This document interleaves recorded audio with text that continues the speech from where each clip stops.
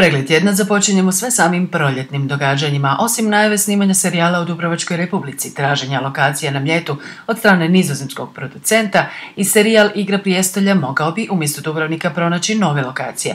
Iako ga i producenti i ekipa obožavaju, novim hrvatskim zakonom reduciraju se budžeti i poticaji za strane filmaše. Kad su HBO-ovi producenti čuli za ukidanje poticaja, otvoreno su zaprijetili povlačenjem iz Hrvatske i povratkom na Maltu. Čeka se reakcija Ministarstva kulture.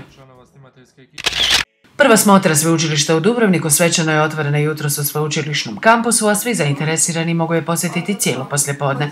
Smotra je namijenjena učenicima završnih razreda srednjih škola, studentima i ostalim zainteresiranima. Cilj je predstaviti preddiplomske, diplomske i poslijediplomske specijalističke i doktorske studije, nastavne planove, opremljenost odjela, mogućnosti zapošljavanja po završetku studija, ali i sve detalje vezane uz njihov studentski život u Dubrovniku.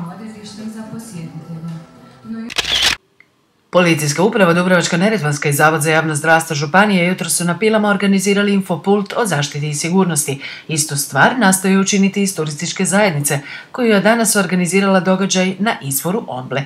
Čišćenje i učenje o Ombli kao izvoru života na ovom području obavljali su danas uz pomoć vrtičaraca iz pila i pčelice.